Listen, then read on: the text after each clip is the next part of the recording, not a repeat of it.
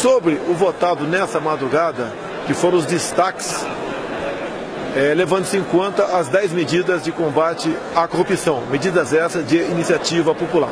O meu voto e o do meu filho Eduardo Bolsonaro foram idênticos em todos esses destaques.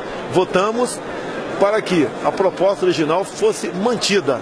Não ajudamos a desfigurar esse projeto.